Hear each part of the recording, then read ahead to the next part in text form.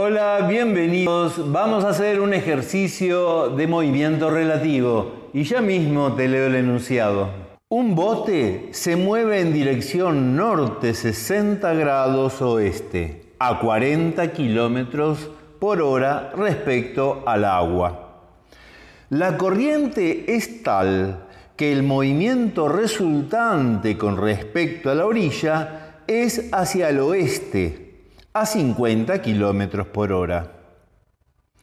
Se aporta un lindo esquemita de lo que el enunciado acaba de contar y continúa. Calcular el módulo, la dirección y sentido de la velocidad de la corriente con respecto a la Tierra. Bien, reconozco que estos enunciados hay que leerlos una, dos, tres, seis veces pero en el fondo son clarísimos. Fíjate que cuando el enunciado dice que el bote se mueve así, asá, con respecto al agua, si te dijeran, por ejemplo, se mueve así o asá respecto del tren, vos no dudarías en afirmar que esa velocidad es la que se mira dentro del sistema de referencia móvil. Y cuando dice respecto a la orilla, se trata del movimiento respecto al sistema de referencia fijo.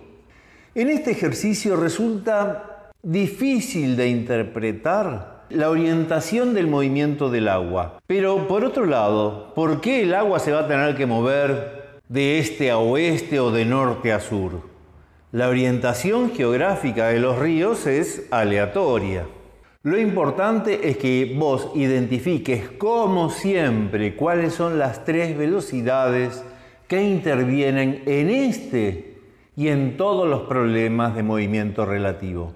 Entonces vamos a hacer un esquema con las tres velocidades. Voy a utilizar un sistema de referencia X y orientado con las mismas direcciones que la roseta de los vientos norte, sur, este y oeste.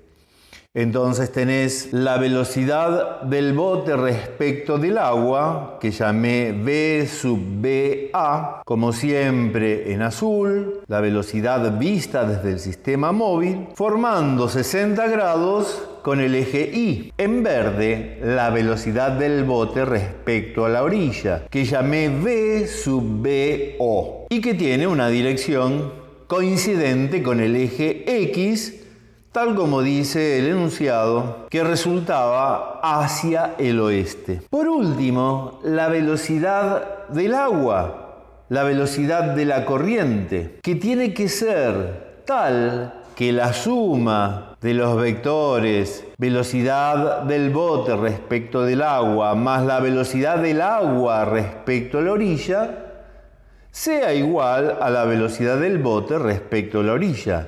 Y si dudas, míralo con la ley de adición de velocidades de Galileo, que decía, la velocidad del bote respecto a la orilla, o sea, la velocidad vista desde el sistema fijo, es igual a la velocidad del bote respecto del agua, o sea, la velocidad vista desde el sistema móvil, más la velocidad del agua respecto a la orilla, o sea, la velocidad de arrastre.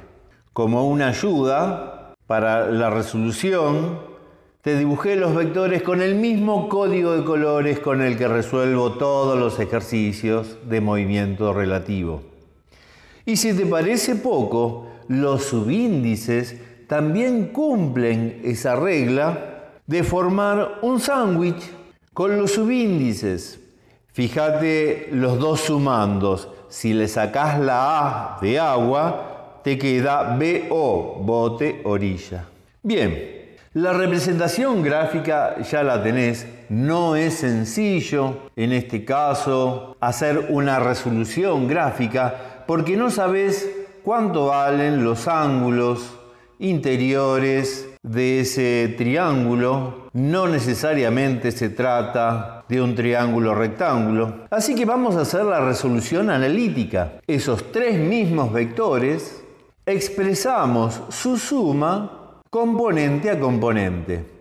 En el eje X que tendremos velocidad del bote respecto de la orilla en la dirección X igual a la velocidad del bote respecto del agua en la dirección X más la velocidad del agua respecto a la orilla en la dirección X. Y lo mismo para la dirección Y. La velocidad del bote respecto de la orilla en la dirección Y es igual a la velocidad del bote respecto del agua en la dirección Y más la velocidad del agua respecto a la orilla en la dirección Y. Reemplazo los valores según los datos aportados por el enunciado. Entonces, empecemos con X. La velocidad del bote respecto de la orilla en la dirección X no es otra cosa que la velocidad del bote respecto a la orilla, los 50 kilómetros por hora. Y eso va a ser igual a los 40 kilómetros por hora por el coseno de 30 Fíjate que 30 es el complementario de los 60 grados que aporta el enunciado formando con el eje Y. Acá tomé el ángulo que forma con el eje X, 30 grados. Más la velocidad del agua respecto de la orilla en su dirección X. Para el eje Y lo mismo.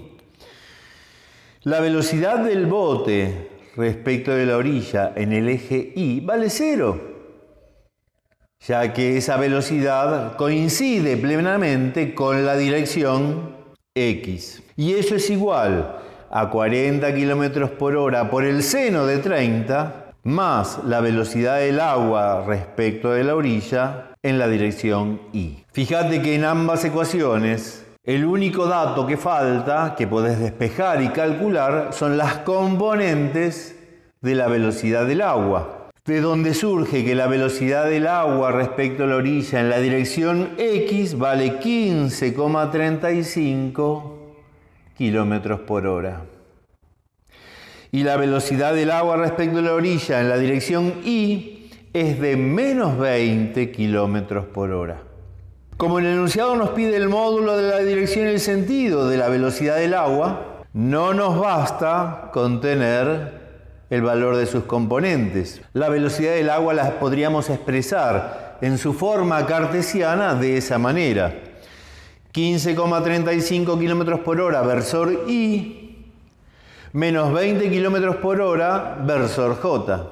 Si queremos conocer el módulo de la dirección, Ahora sí, la descomposición de cada uno de los vectores se hace formando un triángulo rectángulo. Entonces el módulo de la velocidad del agua surge por Pitágoras.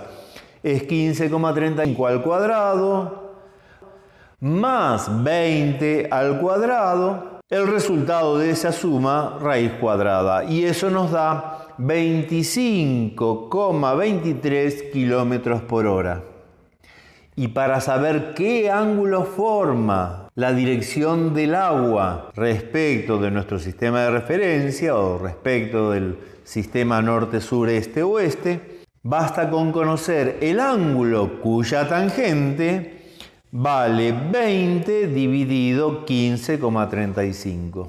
Y ese ángulo vale menos 52,5 grados. Como ves, el triángulo que formaban los tres vectores en su suma vectorial no era rectángulo. En este ejercicio no cabía otra resolución que la analítica. Bueno, también hay un par de teoremas que si vos sos muy inquieto matemáticamente, te podrían servir y podés llegar. El teorema del coseno y el teorema del seno.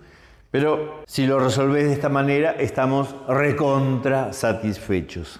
Por último, te muestro cómo serían las imágenes superpuestas de ese bote moviéndose de esa manera.